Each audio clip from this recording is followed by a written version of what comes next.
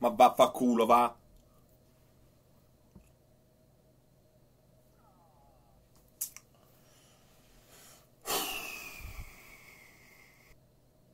Bello. Ma vaffanculo, va. Ehi.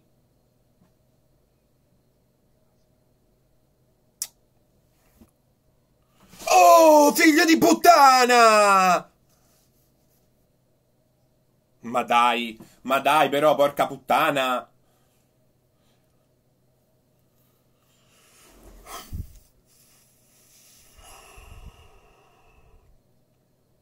Sì, vabbè, ciao. Ma dai, Cristo della Madonna, in croce. Ok. Ma vai a fare in culo però! Ma no, mannaggia.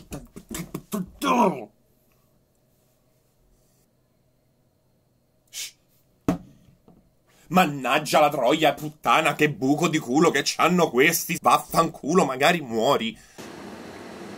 Partiamo da un principio. Raramente io registro un video di una partita subito dopo la partita medesima, per il semplice fatto che il più delle volte sono trascinato dalle emozioni della suddetta partita, siano esse positive o siano esse negative. Qual è il problema? Vista questa partita, non ho potuto fare a meno di dire ok, accendo la telecamera. Allora, diciamo che la partita, cercando di rimanere più calmi possibili, si può dividere tendenzialmente in due spezzoni, in due fasi differenti. La prima che va fino al quarantesimo, dove viene espulso per doppia ammonizione Pedro, e dal quarantesimo in poi, in cui vediamo due partite completamente diverse. La prima parte, una Roma che non gioca, una Roma che non incide, che prova a tirare ma con risultati scarsissimi, un Sassuolo che prova a pungere, Pedro viene espulso per doppia ammonizione, ammonizioni sacrosante, per carità del Signore, infatti io personalmente molto stupito da Pedro che con 15 anni di carriera alle spalle prende due cartellini in questa maniera qua. Da quel momento in poi la Roma comincia a giocare a calcio con un Sassuolo che comunque ha le sue occasioni perché ha l'uomo in più, ma comunque una Roma che fa la partita e per il risultato che ricordiamo essere di 0-0, questa Roma poteva tranquillamente, doveva tranquillamente vincere, ma gli è stato negato. Allora, da chi? Da cosa? Allora, sicuramente una Roma che spreca tanto, indubbiamente Ov- è ovvio, perché se la palla non entra può succedere quello che vuoi, ma sei tu che non ce l'hai buttata. Ma, ma, va detto, e qui c'è un grandissimo ed enorme ma, se poi l'arbitro fa tutto l'opposto di quello che deve fare, possiamo anche dire ok, ho giocato male, ok, non l'ho messa dentro, ma dopo però ma- manca la, la sostanza, ok? Allora tu, Maresca in questo caso, sto testa di cazzo, perché è una testa di cazzo, come decide di arbitrare? In modo duro e io lo posso, accett- posso accettare perché noi abbiamo visto fin dal primo tempo ogni fallo da ripartenza un giallo, ogni contatto un fischio, più sproporzionato da parte della Roma? Sì, ma comunque onesto. Annulla un gol con l'intervento del VAR al 45esimo, giusto, la partita riparte.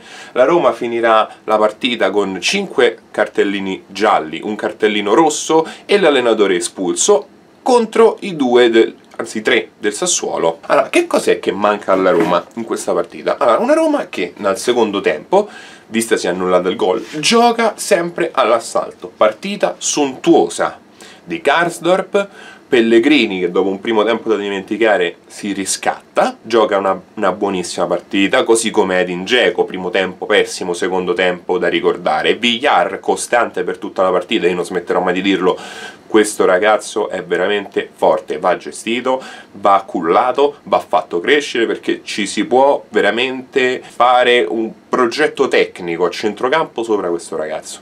Ora la Roma che cosa manca? Oltre che minuto 80, un giocatore del Sassuolo fa un fallo cattivo, scordinato, senza senso tattico e non viene espulso. Quella espulsione avrebbe permesso alla Roma di giocare gli ultimi 10 minuti in parità numerica. E una Roma che già con l'uomo in meno stava dominando in parità numerica avrebbe potuto, avrebbe avuto molte più occasioni per raddrizzare questa partita. Ma la parte più scandalosa dell'arbitraggio di Maresca arriva pochi minuti dopo. Allora, tu hai già annullato due gol tramite il VAR. Ed è giusto, perché erano entrambi da annullare, uno per la Roma e uno per il Sassuolo. Il primo per fallo di Adin Dzeko. E lì possiamo anche parlare di Pellegrini che per motivi fuori dalla comprensione umana e fuori dalla grazia del Signore decide di ridarla a Dzeko invece che tirare a tu per tu col portiere. Possiamo discuterne, ma sta di fatto che Dzeko fa fallo, nonostante poi Mkhitaryan ribadisca in rete. Comunque, il fallo di Dzeko c'è, il gol va annullato. Sul gol del Sassuolo, il giocatore del Sassuolo è fuori gioco il gol le va annullato. Allora io mi chiedo, se tu hai già utilizzato due volte il VAR, perché cazzo di problema tu c'hai nella testa per non utilizzarlo la terza volta? Allora, la Roma crossa al centro, il giocatore del Sassuolo prende la palla palesemente di mano, l'arbitro non fischia, arriva il consiglio dal VAR, valla a vedere, l'arbitro non la vede perché è una grandissima testa di cazzo, perché è un, è un essere insulso, inutile, che pretende probabilmente nella sua testa pre- avrà preteso no, di dire ma perché io devo andare a vedere al bar questo episodio? Sono sicuro di aver fatto una scelta giusta. Come tra l'altro, tra l'altro, lo era sicuro nel gol convalidato alla Roma, perché lui all'inizio convalida gol e non dice nulla, poi viene spronato ad andare a vedere. O si è fatto rode il culo da quel momento, perché se no io non trovo spiegazioni. Come ogni, ogni azione della Roma è un già, come falli inesistenti fischiati al Sassuolo e non fischiati alla Roma.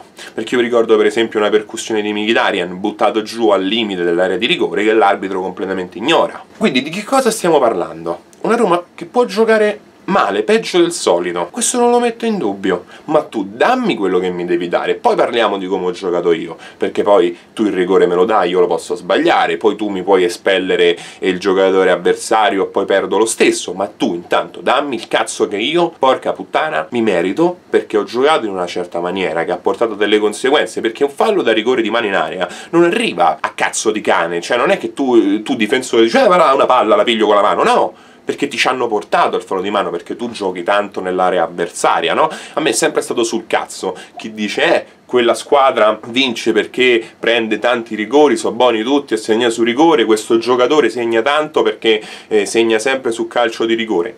Ma che cazzo mi significa a me? Cioè io ci devo essere arrivato a guadagnarlo quel calcio di rigore, io mi ci devo essere arrivato a segnarlo quel calcio di rigore. Cioè abbiamo visto partite, coppe del mondo, campionati Coppe dei Campioni, scudetti essere persi per colpa dei rigori. Allora che vuol dire? Sbagliarlo è, è il peggiore dei crismi e metterlo dentro non conta niente, ma che cazzo mi significa a me? Cioè, io ripeto, che cazzo giochiamo a fare se poi c'hai un arbitro del genere che ti arbitra le partite? È inutile giocare è inutile giocare così. E non voglio parlare oggi di tattica, non voglio parlare di posizionamento in campo, voglio solo dire che Maresca è un figlio di puttana.